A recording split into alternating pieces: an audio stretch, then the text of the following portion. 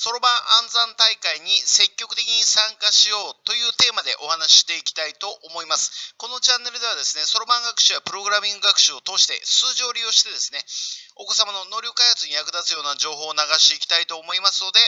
えー、もしよろしければチャンネル登録の方もよろしくお願いします。はい、今回はですね、そろばん暗算大会のお知らせです。えー、ゴリ先生のところもですね、えー、参加させてもらうんですけども、第1回手段競技チャレンジカップ開催のお知らせと開催要項、えー、こちらについてちょっとお話ししていきたいと思います。まあ、このチャンネル、えありがたいことにですね、生徒を含め保護者の方も結構見てもらってますので、まあ、お知らせも兼ねてですね、あの、お話していきたいと思います。まあ、今回、あの、なぜ東京の池袋で会場ですね、え日程は10月の14日、月曜日ですね、祝日ですかね、えー、ゴリ先生の教室がある宇都宮エリア、この辺り、小学生は秋休み、秋休みのど真ん中ぐらいじゃないかなと思います。あのえー、結構うちの選手はですね、参加しやすいと思いますので、ぜひぜひ、えー、応募してみてください。あの今回、ゴリ先生がこの大会に参加しようと思った、えー、きっかけですね。今回、ゴリ先生がこの大会に参加しようと思った一番のメインのところですかね。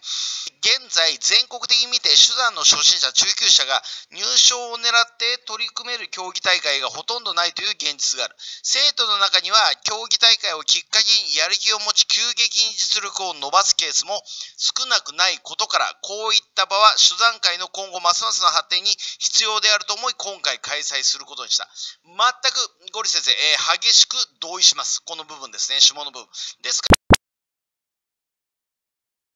うちの選手たち、えー、今回10月14日ですね、可能な限り出していきたいと思います。本当にゴリ先生の経験値なんですけど、うちの教室を挙げて約4年、4年と4ヶ月ぐらい、4年と約半着ぐらいですか、えー、やってきました。だいたい1年半ぐらい経ってから、教室開校してから、1年半くらい経ってから大会に出始めたんですけど、やはりその大会を出る、出て、えー、その選手たちの伸びというのは、ものすごく著しく伸びるものがあります。まさにこの種目書いてある通り。えー、ただですね、やっぱり、えー、競技大会、あのレベルの高い上の選手たちが、なかなか出ても、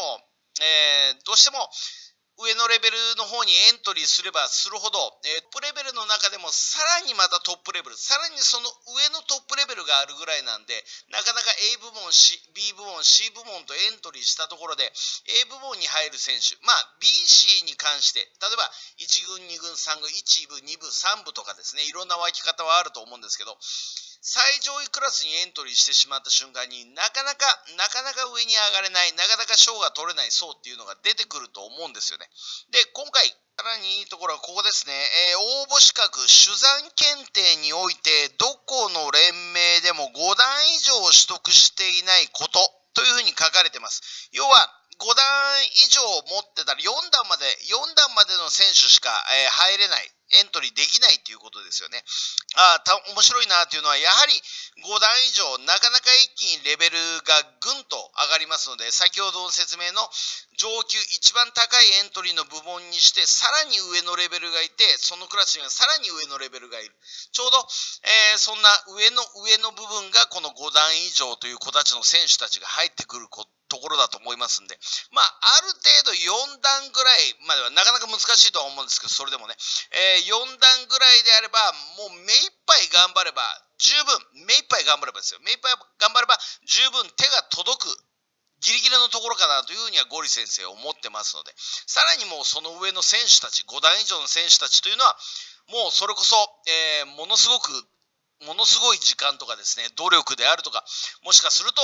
えー、能力的な部分、地頭的な部分も関係してくると思いますんで、非常にこれは面白いかなというふうに考えております。しかも種目もそろばんだけですかね、掛け割り、見取り、えー、のそろばんだけで、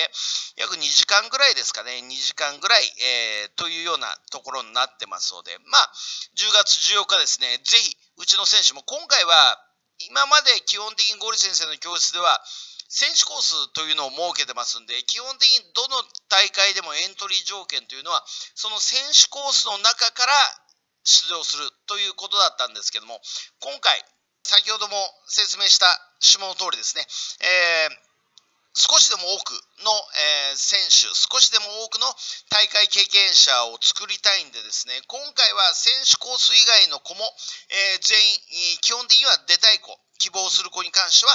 エントリーする方向でいきたいと思いますので、ぜひこのチャンネル見てるですね、えうちの生徒、もしくは保護者の方、あとはですね、全然、えー、他の手段業界、手段関係者の方もですね、ぜひちょっと、えー、興味がある方はご連絡取ってみてはと思います。まあ、こちらのツイッターで、えー、高見木さんですかね、で、